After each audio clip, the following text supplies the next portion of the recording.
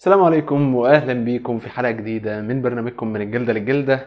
وقلت لكم ترشيحات كتير الفترة الجاية ما صدقتونيش. فزي ما أنا مظبطك كده ظبطني أنت كمان واعمل like واشترك في القناة وفعل التنبيهات عشان تجيلك الحلقات اللي جاية أول بأول. الحاجات دي مهمة قوي يا جماعة يعني ال like بيساعد إن الحلقة دي تنتشر وتوصل لأكبر عدد ممكن من الناس. اشتراكك في القناة هيساعدنا إن إحنا نكبر القناة أكتر وأكتر ونعدي ال ألف بقى. يعني إحنا خلاص فاضل لنا تكة صغيرة كده ونعدي ال ألف. فيعني الموضوع في إيديكم. وقبل ما أبدأ في الترشيحات لازم أشكر كل اللي بيدعمونا على باتريون فودافون كاش وباي بال الناس دي هي اللي بتساعدنا برضو إن إحنا نعمل المحتوى باريحيه كده. ولو عاوز تكون واحد منهم الحاجات دي كلها هتلاقيها موجودة في صندوق الوصف تحت زرار ال like. كمان تقدر تنتسب للقناة عن طريق الزرار اللي موجود جنب زرار ال subscribe. ومش عايزين نطول كتير. خش في الحلقة والترشيحات. بس برضو قبل ما أبدأ في الترشيحات الجديدة بتاعة الحلقة دي أنا أتمنى إن الحلقات دي تكون فعليا مفيدة ليكم. يعني قدمت لكم متعة وتسلية وإفادة بأي شكل من الأشكال سواء في الترشيحات نفسها أو في الحلقة وصناعة المحتوى نفسه. فطبعا أنا ال feedback ده باخده منكم أنتم فالكومنتات مفتوحة عندكم تحت وطبعا ال like وال dislike هم الحاجات اللي بتعبر بشكل واضح يعني عن محتوى الحلقات دي حلوة ولا لأ. فلو عجبك المحتوى ده وعايزنا نعمله تاني وتالت ورابع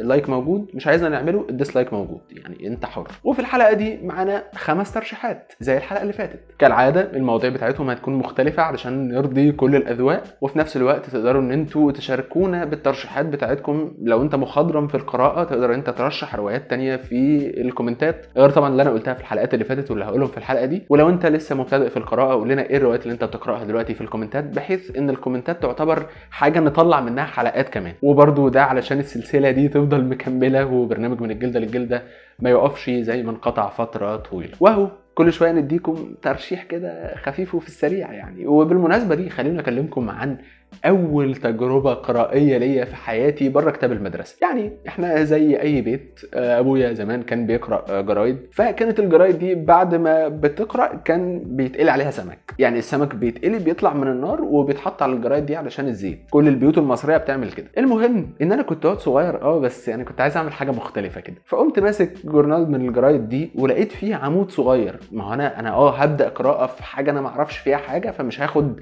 حاجة كبيرة كده وأقعد أقرأ فيها. لا. فلقيت عمود صغير كده في الجنب. قطعت العمود من الجورنال وقعدت أقرأه. طبعا أنا مش فاكر العمود كان بيتكلم عن إيه. هو كان بيتكلم عن حاجة سياسية وأنا بكل تأكيد ما كنتش مستوعب الكلام اللي مكتوب فيه. بس اللي أنا فاكره الإحساس المختلف إنك تكتشف إن في حاجة في الكون ممكن تقرأها غير كتاب العربي والإنجليزي والدراسات والعلوم. وطبعا فضلت أحلب في العمود ده قعدت أقرأه حوالي 10 مرات ولا حاجة علشان بس أفهم الكلمات الجديدة اللي أنا لسه بقرأها دي. وطبعا فضلت محتفظ بيه علشان أفضل أقرأ فيه كتير ولكن ضاع مني بقى وخلاص. بعدها بقى يعني الموضوع عجبني بقى. إيه إيه ده في حاجة اسمها قراءة. فاكتشفت كتاب كان ضخم جدا كان موجود في المكتبة أو في مجموعة الكتب اللي بابا كان محتفظ بيهم. وبالمناسبة والصدفة السعيدة الكتاب ده لسه موجود معايا. يعني هو خرج من مكتبة بابا جه في المكتبة بتاعتي. فخليني أجيبه لكم كده. أوبا كويس إن مفيش حاجة وقعت. أيوه. هو ده. طبعا كتاب ضخم جدا على طفل صغير والكتاب طبعا حالته للأسف سيئة جدا. بس ده الكتاب. إحنا بنتكلم على كتاب حول العالم في 100 يوم الحاصل على جائزة الدولة. الكتاب ده للأديب الراحل أنيس منصور. هو حول العالم في 200 يوم. أنا قلت 100 ولا 200 مش فاكر. ودي كانت الطبعة التاسعة بالمناسبة. فيعني الكتاب ده كان مهم جدا وأكيد مش هفضل شايله كده فخليه هنا على جنب. المهم إن أنا بدأت أقرأ في الكتاب ده وبرضه حسيت نفس الإحساس إن في حاجة جديدة إحنا ممكن نقرأ عنها. ده الراجل ده بيتكلم عن دول راح شافها ودول زارها وجه من هنا وراح هناك. فلا في حاجات جديدة بتتقدم في الكتاب ده. كان أول فصل في الكتاب ده بيتكلم عن الهند رحلته في الهند والعادات والتقاليد الغريبة اللي هناك وإيه المفاجآت اللي شافها هناك ومين الشخصيات اللي قابلها هناك. طبعا دي كانت حاجة مثيرة جدا للاهتمام بالنسبة لي خصوصا لما عرفت إن اللبان اللي هم بياكلوه كانوا بياكلوه لحد ما اللبان تقريبا كانت صناعته مش كويسة قوي يعني. فكان بيدوب في بقهم وطبعا اللبان فهو حاجة ملونة فكانوا بيتفوا على الأرض. هي حاجة مقززة جدا ولكن كانوا بيتفوا على الأرض. فتلاقي الطرق العامة كلها مصبوغة بتاعة اللبان. الكلام ده كان أيام أنيس منصور طبعا أنا ما أعرفش بقى الكلام ده لسه موجود دلوقتي ولا لا. طيب أنا بحكي ليه عن الكتاب ده؟ مفيش مجال للصدف في البرنامج ده. أول ترشيح معانا هو عمل لنفس الأديب دوت وهو أنيس منصور. والعمل اللي معانا هو كتاب بلاد الله خلق الله. كتاب صغير طبعا كعادة ترشيحاتي للمبتدئين في القراءة والكتاب بتاعنا بيناقش فكرة ما. على الرغم من التنوع اللي موجود في الكون بتاعنا من البشر البشر الكتير الموجودين في كل مكان بأشكال وأفكار وأجناس مختلفة إلا إنهم مشتركين في عوامل كتير جدا زي إن كلهم بيدوروا على الحب والسلام النفسي. كلهم بيدوروا على وراحة البال وكلهم مشتركين في كونهم مخلوقات لله. فالكتاب تقدر تقول عليه مجموعة خواطر لأنيس منصور محطوطين في سياق واحد مش مبني على دراسات ولا غيره لكنه كلام صادق وطالع من القلب. وطبعا تقدر تخلصه بكل سهولة في قعدة واحدة وبدون مجهود كبير. وزي ما اتكلمنا عن بدايات القراءة كان لازم الترشيح التاني يكون بدايات الكتابة عند واحد من أهم الأدباء واللي دايما هتلاقيني برشح لك روايات في حلقات الترشيحات. وهو الأديب الفلسطيني غسان كنفاني. وآه كل حلقة هتلاقيني بزق لك حاجة عن القضية الفلسطينية. دي حاجة مش لازم ننساها خالص. والدليل إن في برنامج على القناة اسمه الأرض المقدسة. لو عاوز تعرف أكتر عن القضية الفلسطينية البرنامج ده يعني شامل القضية الفلسطينية بشكل كامل يعني. والعمل اللي معانا هو أول رواية كتبها غسان كنفاني وهي رواية رجال في الشمس. الرواية اللي بتوصف تأثيرات النكبة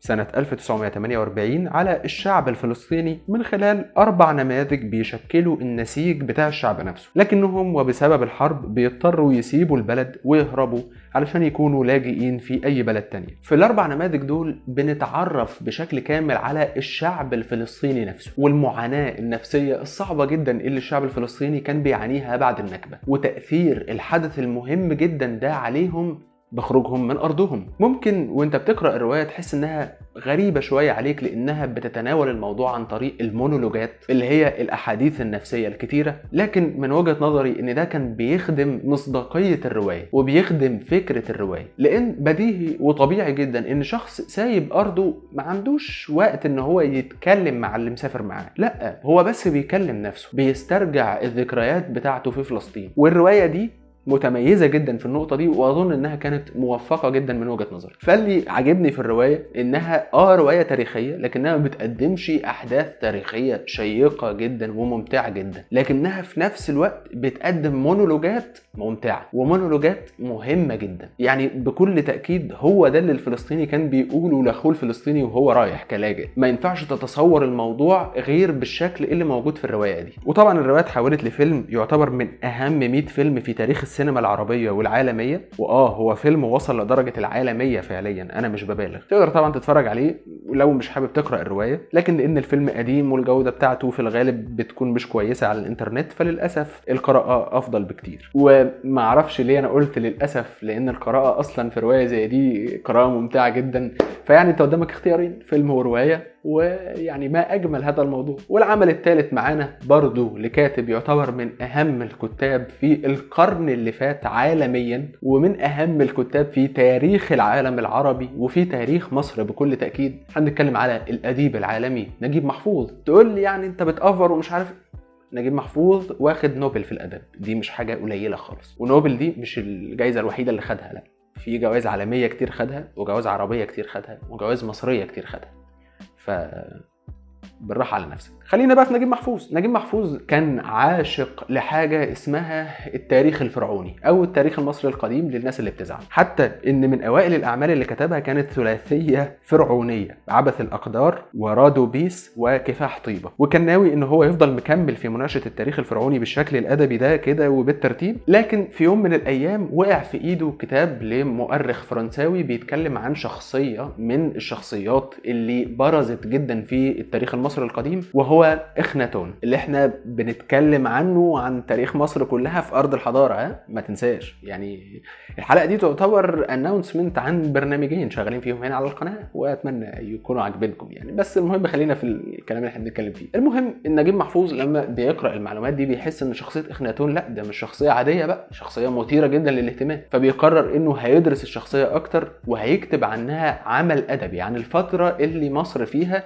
كانت بتعيش ثورة دينية. والرواية بتاعتنا أحداثها بتدور مع شاب في العصور المصرية القديمة كان مسافر من بلد لبلد لحد ما عدى في قرية على مدينة إخناتون اللي لقاها مهجورة ومحدش عايش فيها خالص. فبيسأل أبوه إيه المدينة دي؟ فبيقول له دي مدينة المارق أو الزنديق أو الكافر. فبيحس إن ورا الإجابة في أسرار كتير جدا. فبيبدأ يدور على الناس اللي كانوا عايشين في فترة حكم إخناتون علشان يفهم إيه اللي حصل بالظبط. وهنا الرواية بتاعتنا. الرواية دي تعتبر ترشيح لأي حد بيحب التاريخ أي حد بيحب الكلام عن الحضارة المصرية القديمة وحقيقي الرواية ممتعة جدا. ونجيب محفوظ دايما لما بيمتزج هو والحضارة المصرية القديمة لازم تلاقي عظمة بتطلع من الرواية أو العمل اللي هو بيتكلم عنه. وبيكون وبيكون نجيب محفوظ في أعلى درجات الإبداع. وبمناسبة الإبداع ما إيه رأيك تاخد ترشيح كلاسيكي؟ هو آه كلاسيكي لكنه لحد النهارده لسه من ال best sellers ودي حاجة يعني تخلي الواحد هيتجنن. الرواية بقالها أكتر الرواية بقالها أكتر من 100 سنة ولسه بتتباع لحد النهارده. والرواية هي صاحب الظل الطويل للكاتبة الأمريكية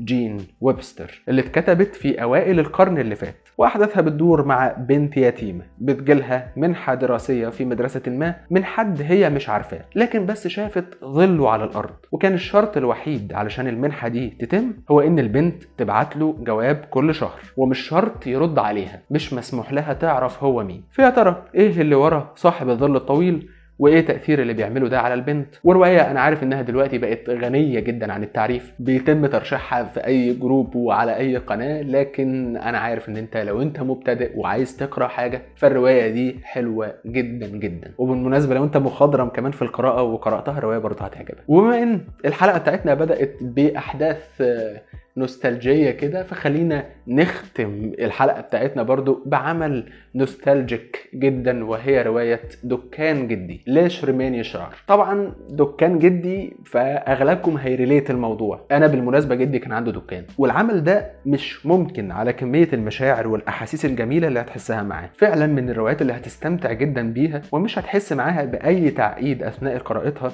على الرغم من إنه عمل كلاسيكي إلى حد ما. وبس كده دول كانوا خمس أعمال رشحتهم ليكم لو أنتم مبتدئين في القراءة أو لو مخضرمين ولسه ما قرأتهمش. أتمنى الترشيحات دي تكون مسلية ليكم لحد ما نعمل حلقة ترشيحات وإن شاء الله مش هتتأخر. فيعني اعمل لايك شارك في القناة فعل التنبيهات عشان تجيلك الحلقات اللي جاية أول بأول. وعلشان عايزين نكبر القناة أكتر وأكتر. فاضل تكة صغيرة على ال ألف يعني خلوا القناة تعدي ال ألف. حابب أشكر للمرة الثانية كل اللي بيدعمونا على باتريون فودافون كاش وباي بال دعمكم هو اللي بيخلينا يعني عندنا أريحية في اختيار المواضيع اللي إحنا مهتمين نتكلم عنها. ولو عاوز تكون من ضمن الداعمين بشكل مادي للقناة هتعمل كده عن طريق الروابط. آه الروابط اللي موجودة في صندوق الوصف تحت زرار ال like.